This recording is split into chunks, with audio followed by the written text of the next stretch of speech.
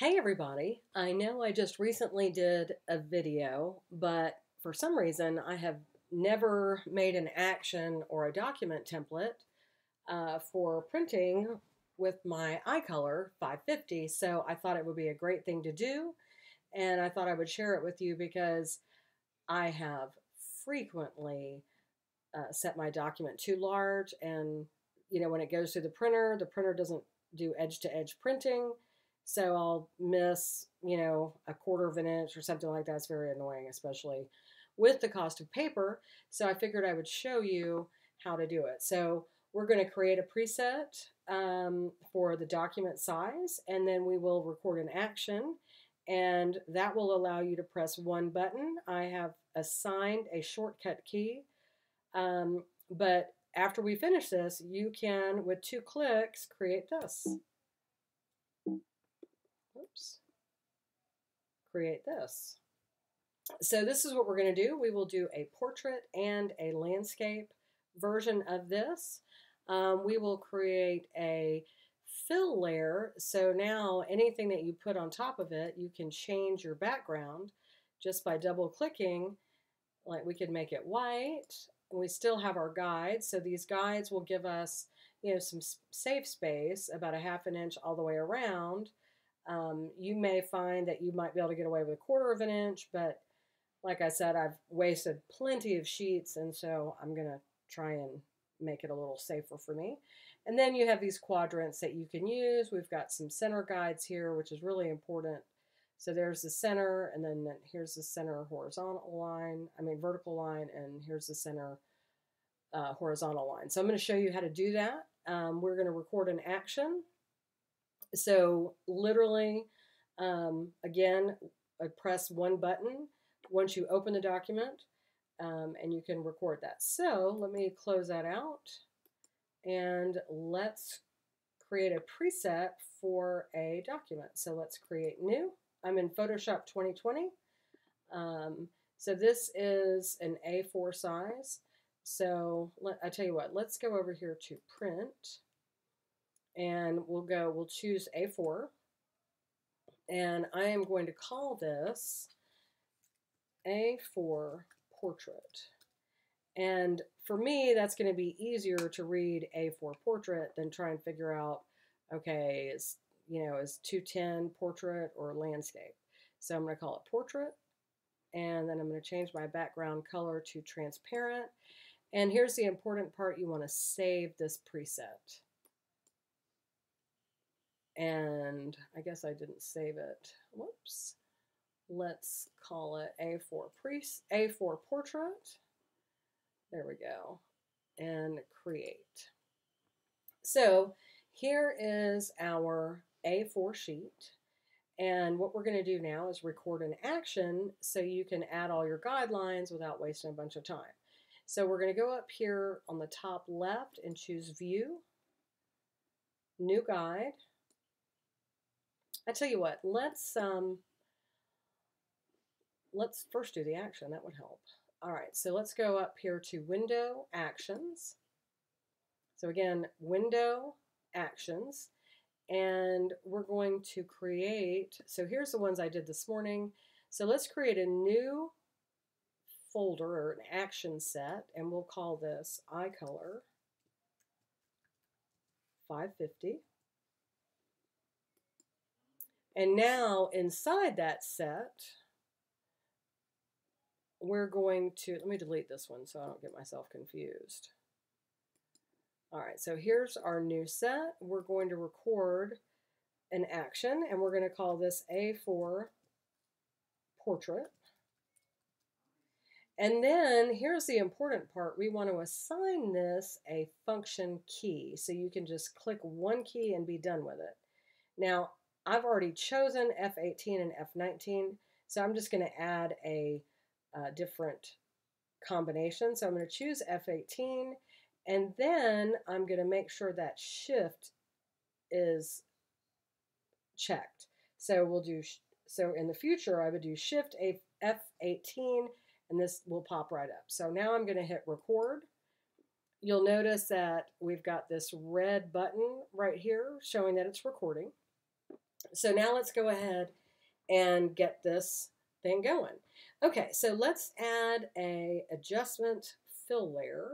So what we're going to do is we're going to come down here to the bottom right hand corner and choose the circle that's half filled and choose solid color. Okay, again, that's the circle down here and then solid color, and we're going to go with black. Almost all my shirts are black, um, so that's good. And again, I'm a weirdo, and I like to have a blank layer on the bottom, so let me just put that on the bottom. I don't know why. Uh, okay, so now let's go ahead and make some guides. So now we're going to go up to View on the top, tabs at the top, and we're going to come, how, come down here to New Guide. And so let's do our vertical guides first. Let's do our center vertical guide. So we're just going to choose 50%, type that in there, and hit OK.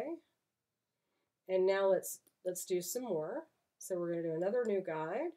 And we're going to, again, we're going to do our vertical guides. And so this is going to be a half an inch on the left-hand side. And then let's do one more. And this is going to be a half an inch from the right-hand side. So A4 paper is 8.27, so minus a half an inch will be 7.77. And we're going to choose OK. So now we've got our vertical guide set up. So now let's do our horizontal guide. So now we're going to go to New Guide, and we're going to go to Horizontal, 50%. Click OK. And again, we'll do our top and bottom ones. So new guide and 0.5 from the top. So that gives me a half inch gutter at the top. And one more. And so this is 11.7, so we'll make it 11.2.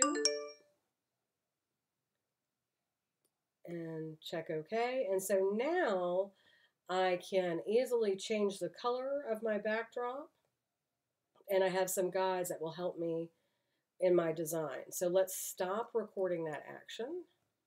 And now you'll see up here, and I do have a lot of actions. I, I don't even use any of them.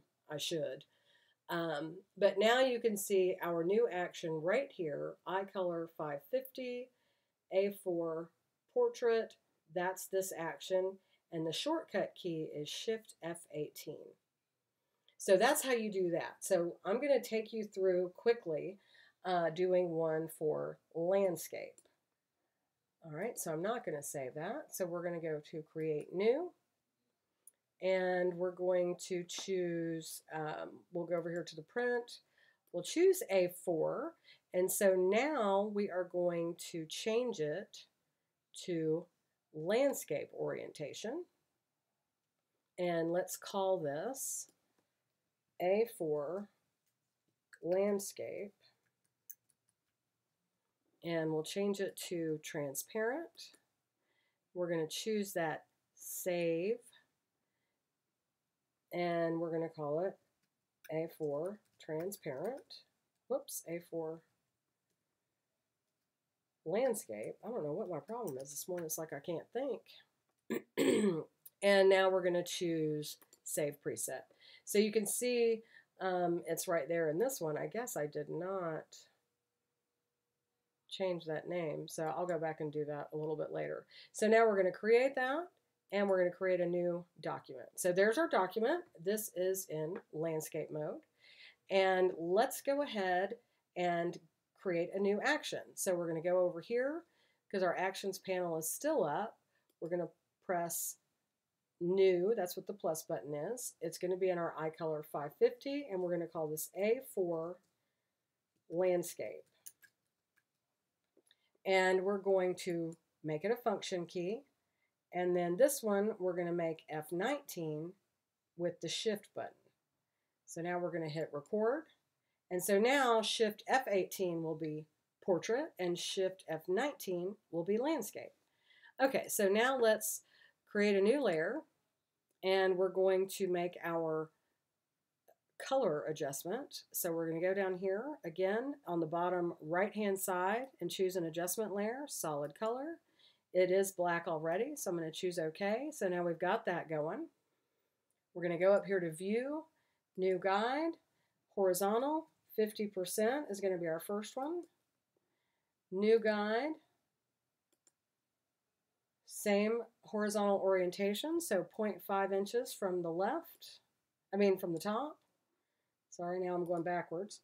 Um, new guide, and then let's see, this is a set a four, so that's what 7.77 on the bottom. View, new guide. Now we're going to change it to vertical, 50%. Hit OK. View, whoops, view, new guide. And we're going to do a half inch on the left. And we're going to do a half inch on the right. And for that, it's going to be 11.2. And we're going to click OK. And so there is our landscape action. And we're going to choose stop. And I just closed those up. So now let's close that out and let's see if our action works. So we're going to create a new document using our landscape template that we just did. I'm just going to double click it. Landscape comes up. I'm going to choose Shift, F19, and boom. So three clicks, our preset button, Shift F19, and it gives us this great template. So I hope this was helpful to you. Have a great day. And I think my next video is going to be on um, creating some tools for you to use, like rasterizing brushes and things like that, so you can have an easier time uh, making your designs. So have a great day. Thanks for watching.